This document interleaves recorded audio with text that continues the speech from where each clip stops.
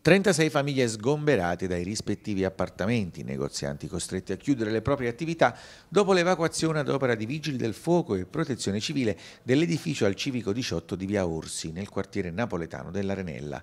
A determinare lo sgombero delle lesioni nelle pareti comparse al quinto e al sesto piano del palazzo, forse provocate da un cedimento strutturale dovuto a lavori abusivi realizzati all'ultimo piano, il settimo.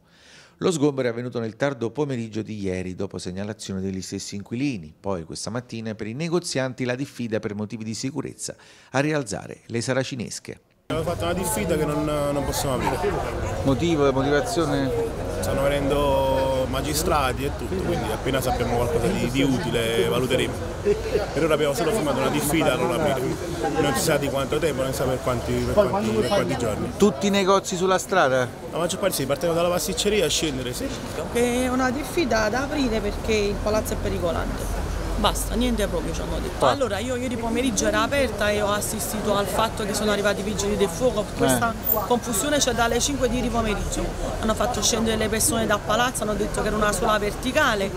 Sono passata ieri tardi, 11 e mezza, mezzanotte, c'era ancora tutta la confusione delle persone in mezzo alla strada. E poi stamattina hanno detto che non possiamo aprire. Ave- pensavo almeno di trovare, che ne so, messo un pochettino insomma tipo tubi innocenti in protezione, il palazzo, queste cose così, invece niente. Per il momento non hanno fatto niente. Hanno da dato questo verbale e basta. questo verbale e basta. Non sappiamo né cosa dobbiamo fare né per quanto tempo dobbiamo stare chiusi.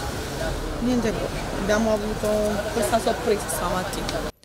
Al lavoro per trovare un'abitazione alternativa alle famiglie la protezione civile del Comune di Napoli che non esclude una chiusura totale della strada, importante arteria per il traffico in zona.